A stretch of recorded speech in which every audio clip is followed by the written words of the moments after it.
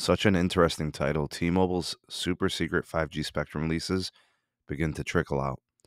T Mobile's been trying to hide these, they've been trying to keep things under wraps as they know that they stand to lose a lot in terms of other operators knowing what they pay and the terms of how they do the leases with these institutions and these educational entities, churches.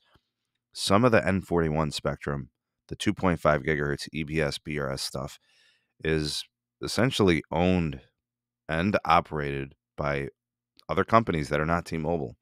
And then in some instances, T-Mobile is able to actually just lease it from them. Uh, there's white space licenses that are going to be auctioned here in July. So they're going to try to get a lot of that stuff. But this is an ongoing issue. And obviously, the interest in that spectrum auction kicks up if companies know the terms of how profitable it might be to just lease the T-Mobile and never actually have to operate it in and of itself. T-Mobile's been working to try to keep things under wraps, but the Christian College of Georgia is working to change that. Let's see what they did here. It says here in a recent filing with the FCC, the college published the full lease agreement that another educational institution signed with T-Mobile. The college argued that it needed to publish the contract, which is publicly available elsewhere, so that its ongoing legal dispute with T Mobile is not discussed in a vacuum. So T Mobile is trying to suppress the exposure of the terms. I know that they've referred to them as trade secrets, and I, I'm not faulting T Mobile for trying to keep things concealed. But it looks like the institutions and the colleges and all these other schools, they want it exposed because if they do, it makes T Mobile look like the bad guy. Uh, so, you know, take it as you may, but it says here T-Mobile pays the school board for the lease. It does spell out the terms of the operator's lease on the school board spectrum license. It says including the details of T-Mobile's right of first refusal. Language is important to the 2.5 license owners because they're going to be selling their licenses to investment companies and others.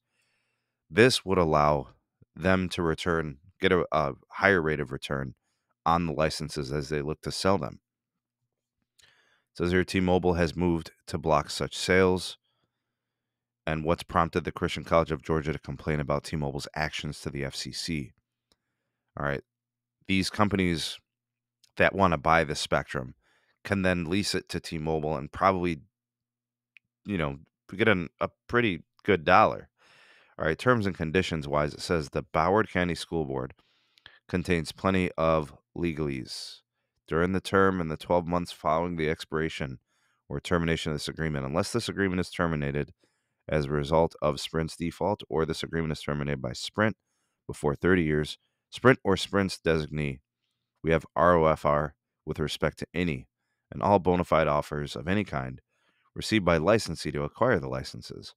See how this is very, you know, it's very tight legal terms. T Mobile currently pays rent on about 1,800 such licenses all over the country.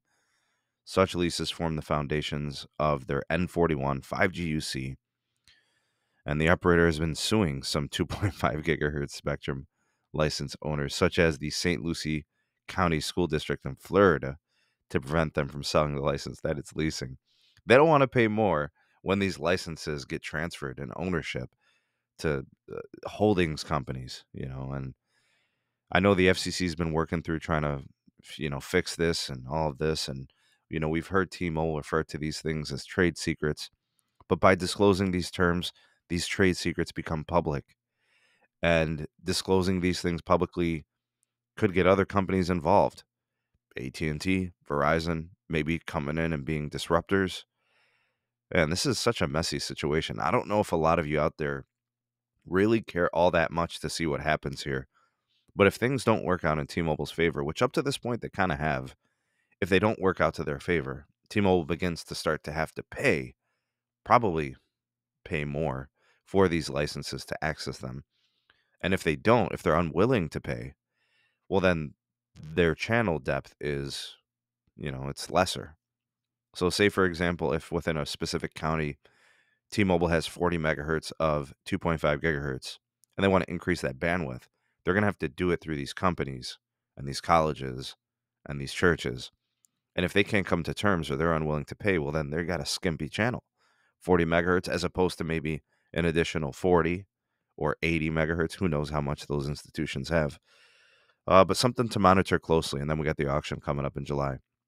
T-Mobile's trying their damnedest to really keep things under wraps, but it looks like stuff's coming out, and it's it's a little bit of politics, right? These looks like the college wants stuff out there, and uh, make T-Mobile look like the bad guy. And hey, I mean, every institution is going to operate in their best interest, regardless of what T-Mobile wants, and of course, they're trying to do their thing too.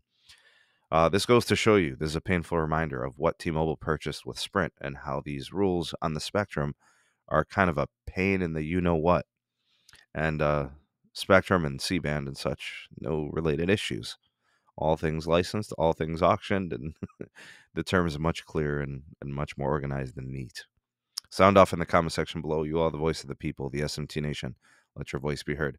A reminder why T Mobile is willing to spend the most per megahertz pop on C band because of situations like this. They don't want to go through this again. Uh, please do like, share, and subscribe for more, and turn on that bell notifications icon to never miss an upload.